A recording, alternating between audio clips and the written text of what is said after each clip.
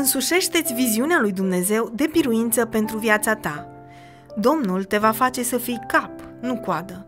Totdeauna vei fi sus și niciodată nu vei fi jos, dacă vei asculta de poruncile Domnului Dumnezeului tău, pe care ți le dau astăzi, dacă le vei păzi și le vei împlini. Deuteronom 28 cu 13 am avut câteva victorii minunate în viața mea.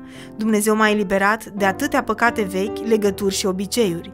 Frumoasa libertate pe care am experimentat-o este absolut uimitoare și este ceva ce Dumnezeu vrea ca noi toți să experimentăm.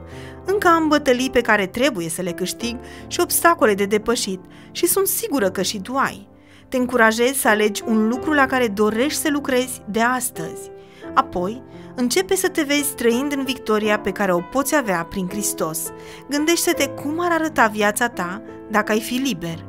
Eu folosesc Deuteronom 28 cu 13 ca stimulent. Te încurajez să citești întregul capitol. În esență spune că dacă asculți de Dumnezeu, El te va binecuvânta, iar dacă nu te supui lui Dumnezeu, vei fi blestemat. E un stimulent puternic, nu-i așa?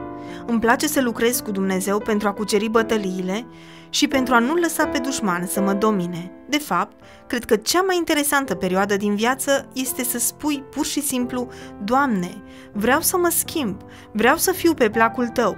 Când începi să ai această mentalitate, poți să începi prin a scăpa de un singur păcat, apoi de încă unul și tot așa.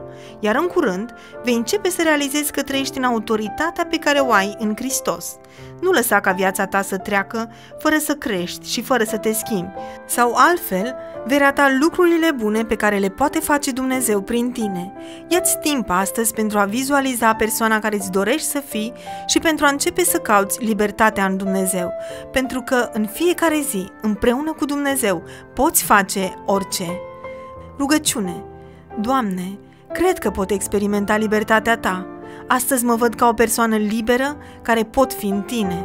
Dăm putere să fiu pe placul tău și să umblu în autoritatea pe care tu mi-ai dat-o.